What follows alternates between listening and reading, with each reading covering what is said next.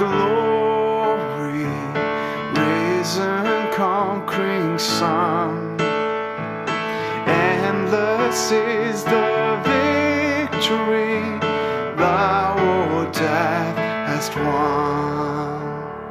And no more we doubt thee, glorious Prince of life.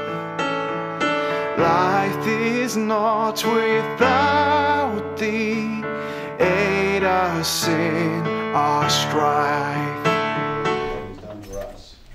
We still have freedom to serve him, and uh, we're thankful, thankful to be able to do that this morning. And uh, uh, there's a verse in First Thessalonians that, uh, that would make us think about being thankful. Says, "In everything give thanks, this is the will of God." It's the will of God in Christ Jesus, our Lord, to to in everything give thanks. And I've written in my Bible, beside that verse, in everything, not for everything. But you know, really, in everything really it means for everything. You can't get away from it. Uh, it's uh, we should be thankful for all the things that we have happen to our lives. So no matter what happened to you, God is good, and uh, and He's faithful and He's true, and you can trust Him. And, um, I was thinking about that verse actually a week ago. I was laying in bed before I, just before I would get up and talking to the Lord. And I was thinking, have I ever been thankful for everything and, and in everything? Now, in everything is actually more difficult than for everything. Well, being thankful for everything is very difficult. But be actually thankful for it while you're in it. Mm-hmm. That's really hard. While you're in the things that you have to go through. Now, things that we will thank, be thankful for today and Monday, we'll, we'll name off all the happy things, all the good things. Yet we're responsible for, for so many other things. And, and uh, I don't know if, if you're like this or not, but when I get time to think, almost always the devil will remind me of all the things I've done wrong. Mm-hmm. And so uh, uh, I think he's the accuser of the brother, not just before the throne of God, but also in our lives, in our hearts. He's the accuser of the brethren. And uh, all the things that the Lord has forgiven me, I often remember them over and over. And I can remember stuff all the way back to my childhood, long before I was saved. And the devil likes to bother me about. it. And so, anyway, I was laying in bed to try thinking back over the wreckage of my life, which the Lord has forgiven uh, things that I've done, and I'm greatly appreciative of that. But uh, and I had a tear. Actually, I'm not one to cry, but I had a tear and uh, or two as I was thinking back and being thankful for all the things that the Lord has allowed to happen in my life over the years. And uh, 40 years in the ministry, you uh, you say things from time to time you shouldn't have said, and do things that you probably shouldn't have done, and, and uh, as all of us do, and that we want to be thankful. So let's begin this morning with being thankful. Our Father in heaven, we thank you for this opportunity be gathered in your name this morning. Thank you for each one who's, who's interested and able to come. Pray, Father, that you might deal with us and bless us in this time and speak to our hearts. And uh, let not our hearts be hard, let not our necks be stiff. May you find us willing, Lord, to, to follow you and to serve you. May you bless in this time we might come close to you, Lord. And we have much to thankful for, be thankful for this morning. We thank you for good things, and we thank you for difficult things, and uh, for hard hardships and and uh, hard times, even times that we're responsible for making hard. Uh, still, we thank you, Lord, that you have been faithful to us and have loved us with an everlasting love. Thank you for your love for us this morning. And now work in our hearts. I can't do anything. And yet, Lord, we look to you and say, Can you do something with us this morning? Pray in Jesus' name. Amen. All right, if you take your Bible and turn to the Gospel of Mark, Mark chapter 9, please. pastor asked me yesterday, yesterday afternoon, and so uh,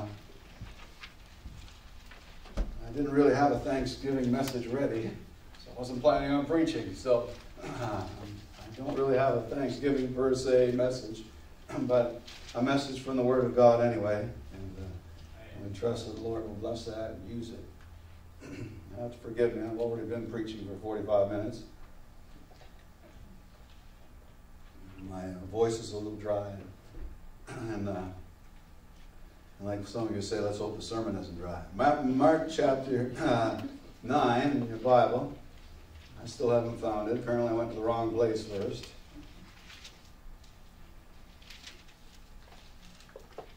Appreciate so much the opportunity to be with you, by the way. It's a blessing to be with you this morning.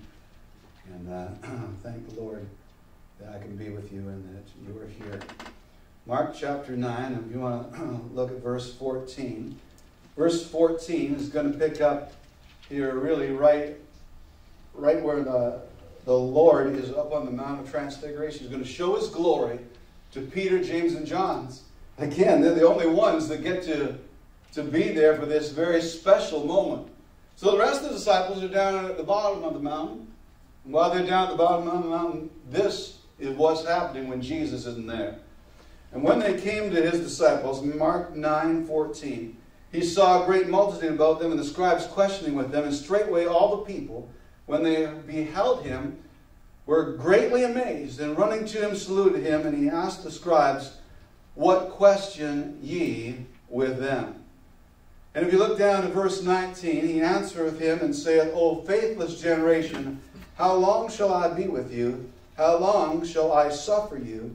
Bring him unto me. In, uh, in Matthew, I believe it's worded, O faithless and perverse generation. The Lord says uh, to these people, faithless here actually means without saving faith in Jesus Christ. And of course, uh, he's referring to someone in this crowd as being without, the, without saving faith. And the word perverse, the word perverse here has the idea of uh, getting in God's way.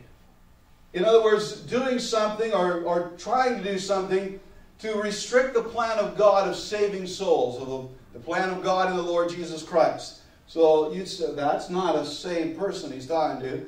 Many people wonder what is this verse 19 addressed to? Who is the Lord calling faithless and, and Matthew also perverse? Well, there's, there's uh, if you look up in commentaries, you get, a, you get a whole, bunch of things that people say. They'll say, oh, it's the Father.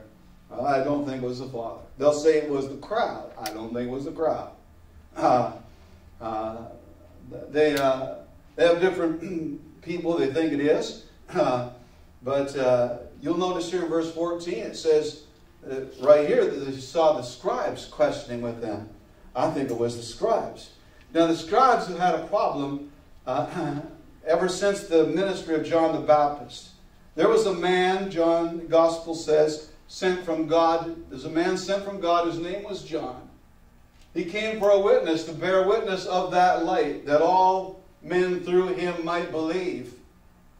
And so the the whole point of John's ministry was so that everybody would believe, so that everybody would put their faith in the Lord Jesus Christ. But there were some people who refused to do that. If you just go, go over to Matthew 3, we'll come back here. uh, I want to look at Matthew 3 for a moment. If you're in the habit of following me in the Bible, it's kind of a good thing to do. If not, you're taking notes, that's fine. Matthew chapter 3. It says, In those days, Verse 1 came John the Baptist preaching in the wilderness of Judea and saying, Repent ye, for the kingdom of heaven is at hand. And everybody who enters into the kingdom of heaven needs to repent.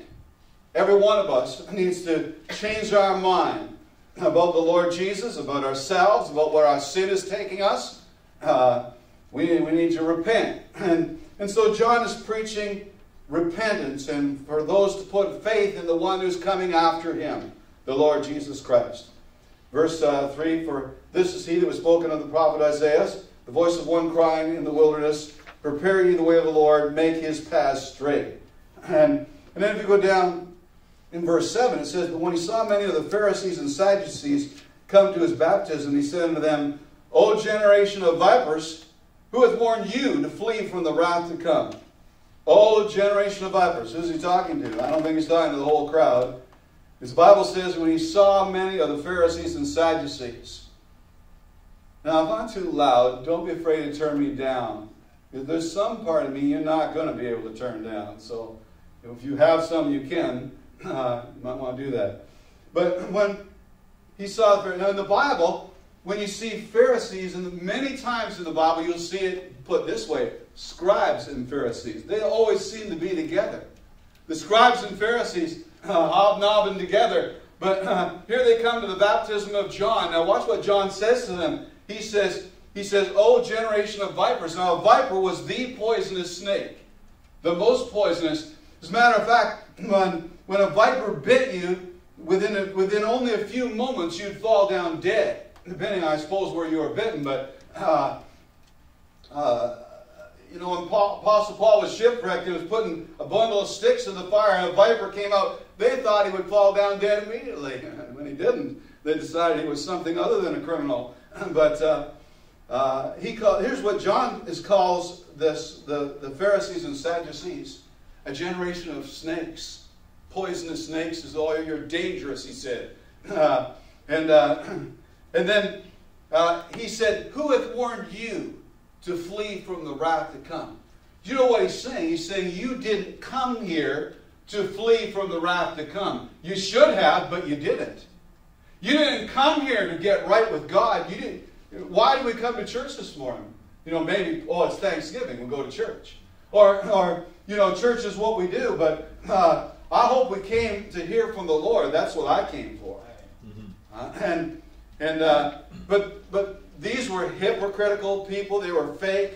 They pretended to, to, uh, to serve the Lord. They didn't serve Him. Uh, and watch what he says. He says in verse 8, Bring forth therefore fruits for repentance. In other words, if you've come to repent, prove it. Prove, prove it. This should be something different with your life. And think not to say within yourself, We have Abraham to our father. For I send you that God is able of these stones to raise up children unto Abraham. I've not been to the Holy Land, apparently you don't have to be anywhere, and you can look down, there's stones there. And, and John's out in the wilderness preaching in the, in the land that wasn't uh, agricultural land. There was probably lots of stones. He said, Don't you think that just because you're of the lineage, uh, you're of the family of Abraham, that you're going to heaven? He said God could, if it was just it was just descendants of Abraham, he could raise up descendants of Abraham out of these stones that are here. Uh-huh. That's not it. and, uh, and then he says in verse 10, Now also the axe is laid under the root of the trees. Uh, therefore, every good, every, every tree rather which bringeth not forth good fruit is hewn down and cast into the fire. Now from the farm. I understand. but the farmer comes out and takes the axe and lays it up against one of the big roots of a tree and leaves it there if I was the tree, I'd look down and see that axe there and say, whoa, whoa, whoa, there's an axe. You know, I know what that can be used for. John is telling these people they need to, they need to get right with God. They need to do business with God.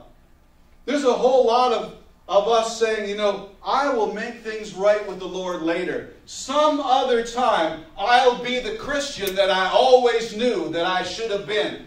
Listen to me. The devil is a liar. That time will never come. If you keep saying that I'll do that later, later I'll make things right with someone I offended, uh, later I'll repent of my sins, later I'll deal with a secret thing in my life that's interfering between me and God, you're not going to do it. You always say you're going to do it later. You always say that sometime later I'll get right with the Lord, and all our putting things off. Uh, the devil's laughing. And, but that's not the way God does things. He says, Today is the day of salvation. There is not another time. You are not promised another day. You might not live another day. You might not live to this afternoon.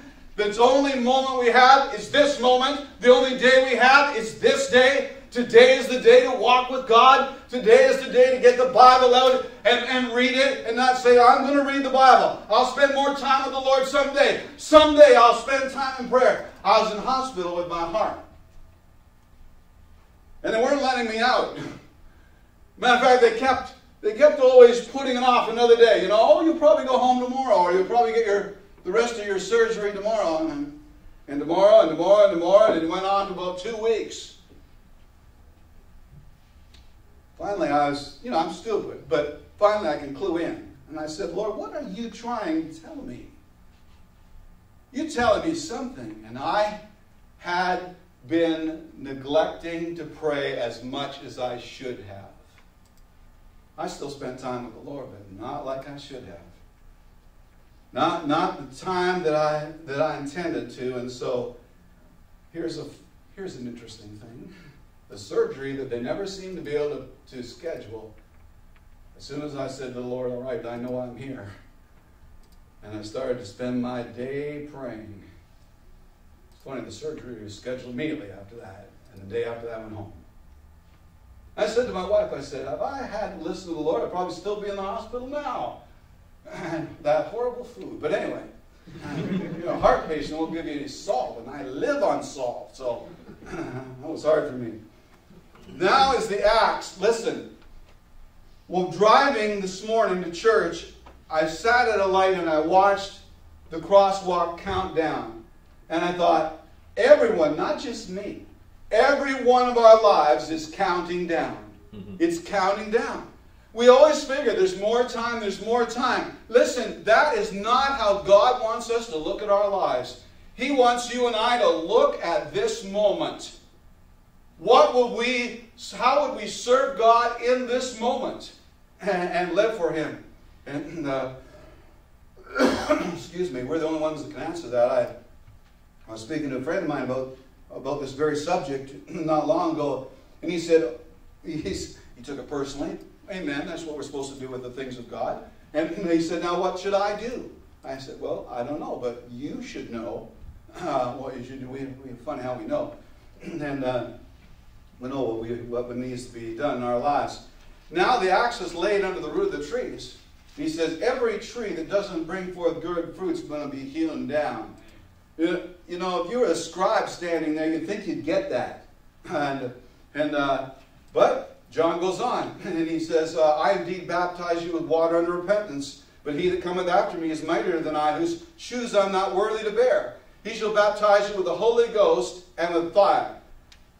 And as you look, in, if you look up uh, into what other people say about this verse, a lot of people don't know what this fire is, and what the, you know what is the Holy Ghost and what is fire. Well, it's in the very next verse. At the end of the next verse, it says, "He'll burn up with uh, the chaff with unquenchable fire." Where is their unquenchable fire? In hell.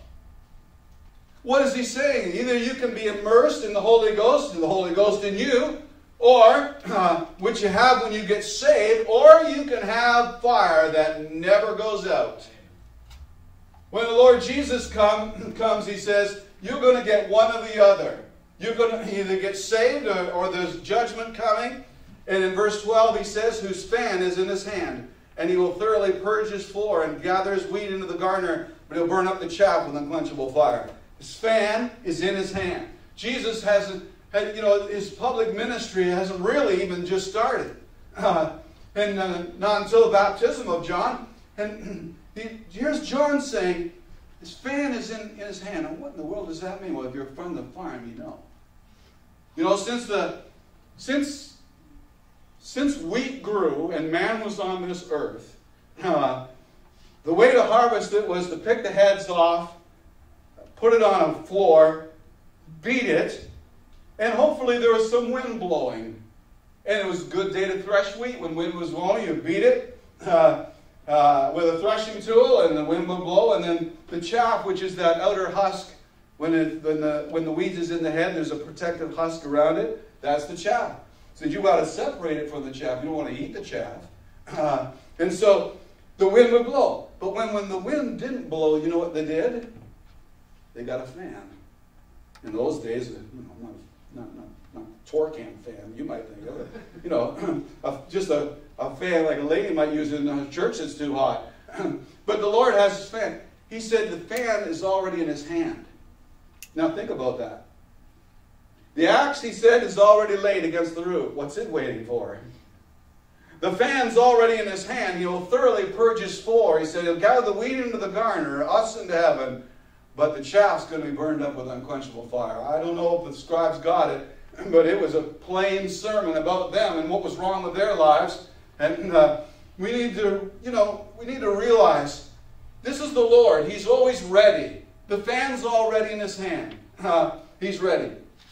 And anyway, uh, I just wanted to say those things about the scribes because when I go back here to uh, Mark's gospel in Mark 9 uh, and verse 14, the Lord comes down from them from the mountain. And, when they when he comes down from the mountain, the scribes are questioning. You know, I like that. Scribes are kind of questioning. You know, you know, the word questioning means to make an inquiry. They're making a formal inquiry. They're making a big deal out of the fact that these disciples could not cast out this child with the devil. You know, think about it. They're not saved. They've never been able to do anything for God and have really in their hearts no use for Him, even though they pretend to. They have never been able to do anything, and they're going to now inquire why, the, why couldn't you do anything? You know, oh, God, God loved that. But our Lord came down from the mountain, and the first thing He says, uh, uh, He says in verse 16, What question ye with them? You know what?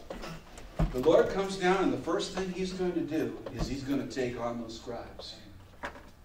He's going to take them to task for, for them and their inquiry about why Jesus' disciples failed. I love this because when I sin and when I fail, Jesus is still on my side. He's still representing me. He's still standing up for me, even when I don't stand up for him. the Lord is on our side. And, uh, and so he, he's, uh, he's going to take care of what's going on here. But the, the scribes never get to answer because the father pipes up and he says, uh, here, and he says, uh, one of the multitude answered and said, uh, it wasn't a scribe, Master, I brought unto thee my son, which hath a dumb spirit. Uh, and, which means that when the demon was, as soon as the demon took this child over, the child could never speak again. And, uh, and, uh, and he says, uh, in verse 18, he says, And wheresoever he taketh him, he teareth, and, and he foameth, and, and, and gnasheth with his teeth, and pineth away. In other words, he gets he's thin and haggard uh, and emancipated. From, he's just he's just uh, he's, he's malnourished from from this this devil that has it. And he said, And I spake to thy disciples that they should cast him out, and they could not. And I don't think he was accusing. I think he was just stating the Lord, this is what happened, Lord. and, uh, and that's the way we need to be. We've got problems, tell it all to the Lord. You know, it's funny. When people recount things, they will generally tell what happened, except what was their fault. Right? We're like that. We'll tell if somebody else is to blame in this as well as us. Guess who's to blame when we tell the story? We don't say anything about us, but we might say something about somebody else. You know, when you're going to deal with the Lord, don't do that. Start with yourself. And uh, start with what's wrong with you. And uh, uh, you'll be so busy with that, you won't really have time to worry about other people's sins. Spend time about ourselves. But uh, uh, he tells the Lord all about it, and he just says, you know, they couldn't cast him out. And that's when he says, verse 19, uh, O faithless generation, oh, who is it with no saving faith? Well, in particular, it's the scribes. Then he says, How long shall I be with you? I'm not going to be here very long. The Lord's ministry only three, three years or so. And how long shall I suffer you? The word suffer there means to endure, to someone who's hard to put up with. That's what the Lord is saying. It's hard to put up with you people who have no faith. And he says, How long shall I suffer you? Bring him unto me. And they brought him, and when he saw him, straightway the Spirit tear him and fell on the ground, wallowing and wallowed foam. And he asked the Father, How long ago, is it ago since this came unto him? And he said, Of a child. He opened a wound when he said that. And uh, uh, I'm sorry, sometimes the Lord speaks or deals with us in a way that, that opens the wound. And uh, uh, he, uh, and the, the father brings it out. He says, uh, of a child, he says. And then verse 22, his explanation. And oft time it, the devil, cast him into the fire and into the waters. You know what that must have been like, raising a child like that? Now he's probably a young man. Maybe he's an older teenager, maybe in his 20s. So I'm not told how old he is. Uh, and uh, he just calls him his child still, uh, as you always would. But uh, imagine a child, you know, there's a fire burn, he jumps in the fire. And you have to drag him out before he's burned in the fire. If he's near water, jumps in the water, uh, starts drowning, you have to jump in there and get him as fast as you can. How difficult, it's hard enough. Children seem to, little children seem to be on a collision course with uh, trying to end their life anyway. Uh, you, you, you, you, try to keep a, a young child alive, but uh, this one, this one was really hard. And all of the torture that was to these parents. And so he says in verse 22 If thou canst do anything, have compassion on us and help us. That sounds good, right? Not really. He says to the Lord, He says, if you can do anything, you know, even if you can just improve the situation, just anything that would help at all. If you can do anything, and please care about us, have compassion on us, and, and help us. Do you know what Jesus says? Because that's not good enough. He said, Jesus said to him, If thou canst believe, all things are possible to him that believeth. The word believeth there means to put your confidence in the Lord Jesus, to put your faith, your trust in the Lord Jesus. The Lord says, if you could believe, if you could have faith, He said, all things are possible to him that believeth. Now watch. The Father was willing to trust the Lord far enough to say, you know, if you could do anything, maybe you could do something. Nobody else can do anything. If you can just do anything. But that's not much of a faith. The Lord says to him, All things are possible to him that believeth. Here's where you, here's where you are, here's where you need to go. He's so kind about it, though. And the Bible says that about the Lord a bruised reed shall he not break.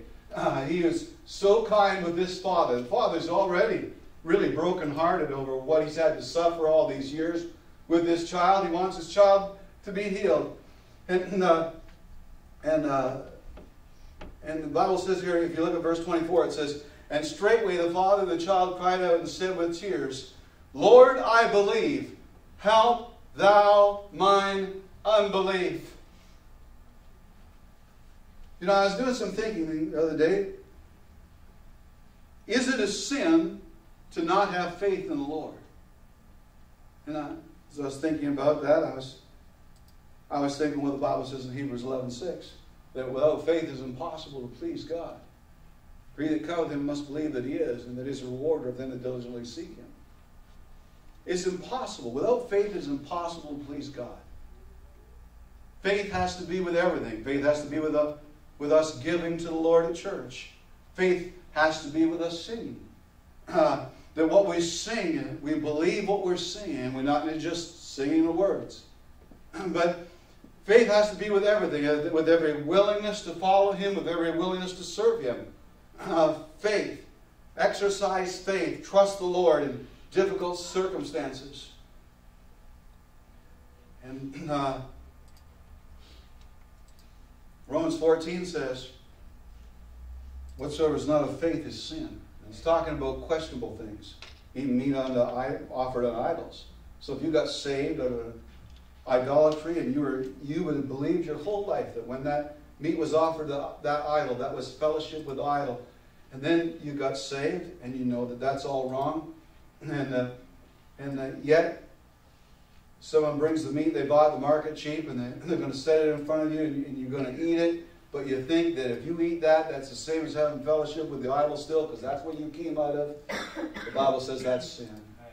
If you can't do what you do with an absolute trust in God, it is an evil thing to do. It is sin. It is, in, in the Lord's ministry, you know, the Lord can do anything, but over and over and over, He required faith. Believest thou that I'm able to do this? according to your faith be it unto you. Thy faith hath saved thee. And on and on and on throughout the New Testament, the Lord says, faith was important. faith is important in all those miracles.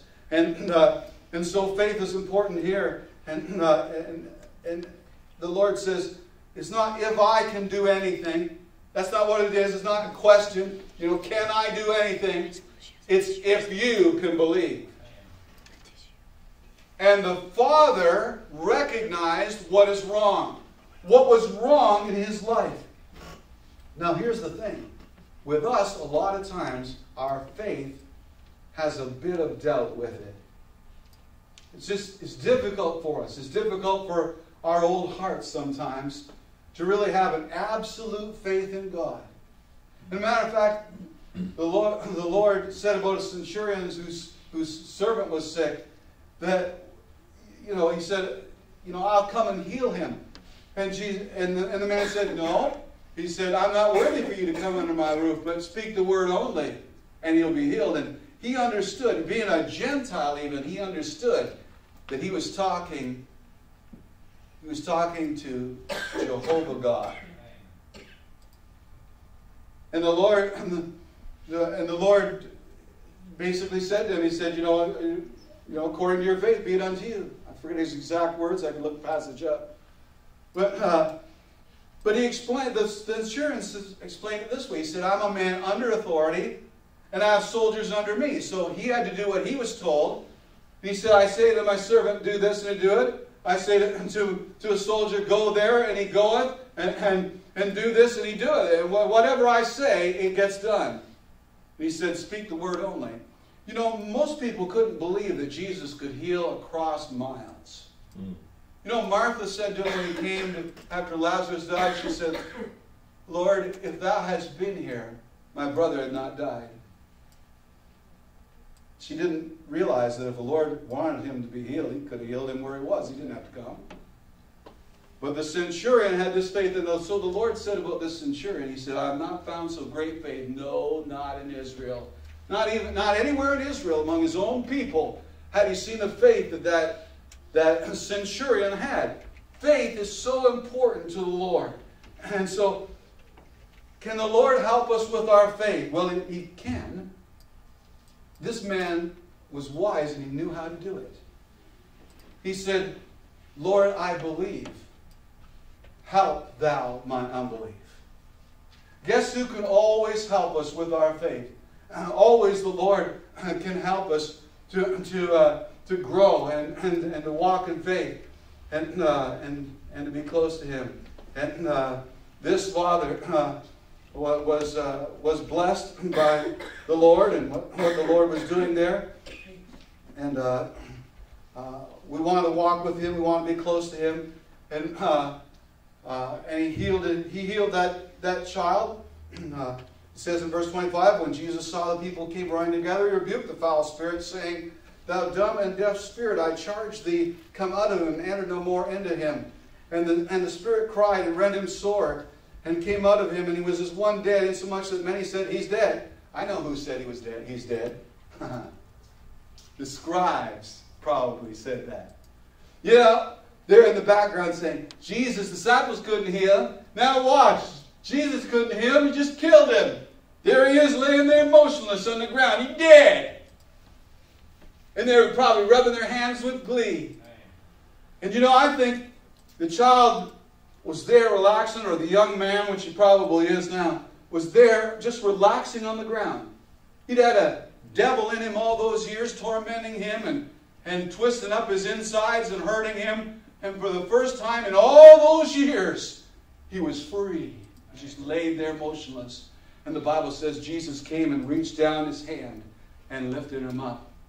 What a wonderful thing it is when Jesus reaches down his hand to you and I. I was lost in my sins. I was working on the farm. I was going to die and go to hell. And Jesus reached down his hand. I was riding the Allis-Chalmers tractor, and the Spirit of God spoke to me as and convicted me on that day. And the Lord reached down his hand as I knelt underneath an old hickory tree and asked Jesus to forgive my sins and save my soul. And I said, Lord, do it right now.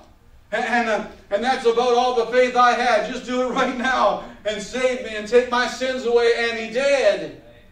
And the Lord reached down and He lifted me up. I knelt down wicked and vile and filthy and on my way to hell. And He reached down His hand and lifted me up. And when I got up off my knees, I was a saved soul. I was a child of God. My name was written in the Lamb's book of life. And heaven was my home. Amen. It's wonderful to be. The Lord reaches down His hand to us. And uh, He reaches to us still this morning to help us. What are you doing? Have you you're struggling with doubt or you're struggling with difficult things, uh, the Lord is there uh, to help us and, and to care about you and to care about what you're going through in your life. And uh, other people may not know what it is, uh, but, uh, but the Lord is there and, and He cares about you. And, and He cares about that you walk with Him, that you be close to Him, that you be in encouraged. And the, the Lord loves us so much and, and cares about us. And uh, I want to uh, I want to go to just one other place very quickly. Matthew chapter six in the Bible. Matthew chapter six. There are four times in the New Testament where Jesus said to to his disciples, I believe every time. Four times he said, "O ye of little faith." I think that's obviously that's that's us. Oh, ye of little faith. I, I, I don't want to be that, but, but that's what we often are. Uh, we often just have a little bit of faith and, and, uh, and, uh, and not what we should, should have. Actually, that's not the scripture I wanted. Uh,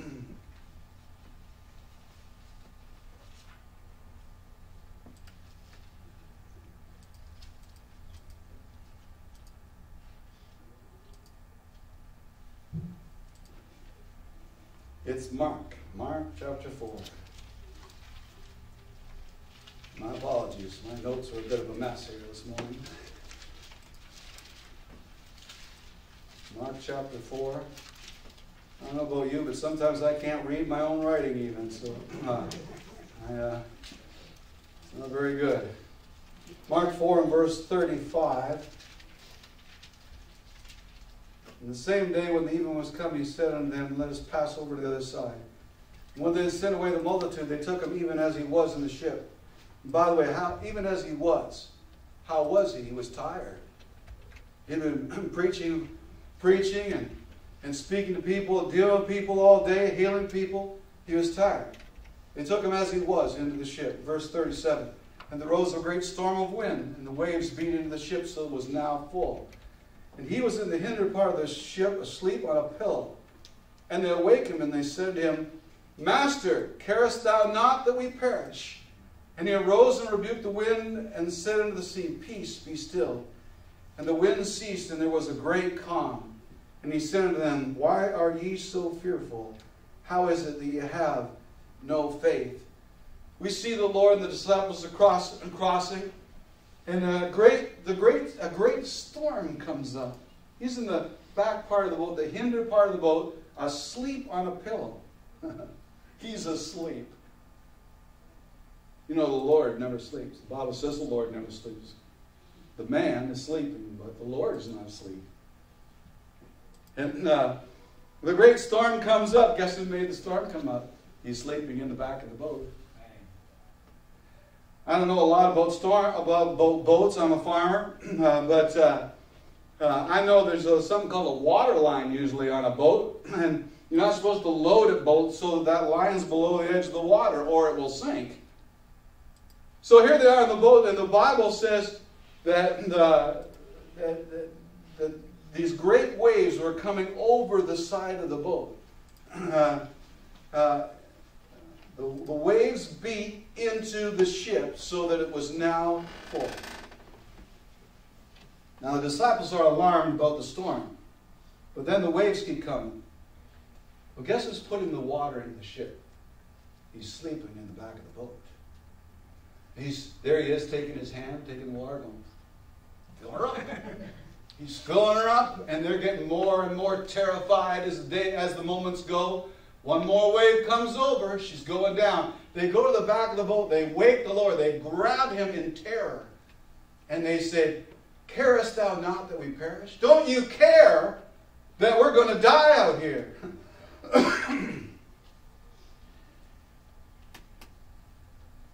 You know, you can't explain why God does the things he does sometimes.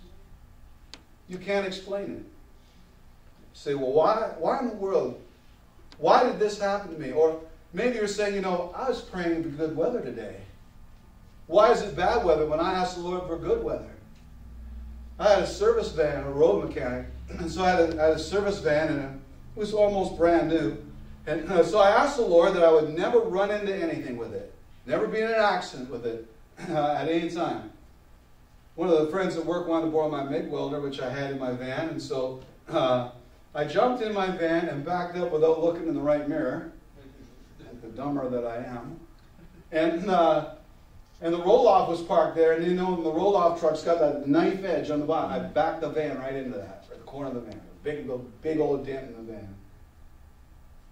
And I said, Lord, I asked you that I would never be in an accident. You knew I was going to do that.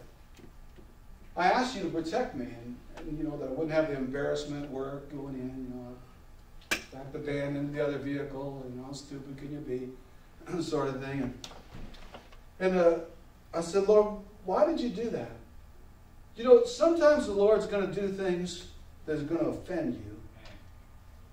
You're going to say, that don't seem right. Why would this happen to me when I've surrendered my whole life to serve the Lord? Why would this happen? There are going to be times in your life that are going to be difficult for you to have faith.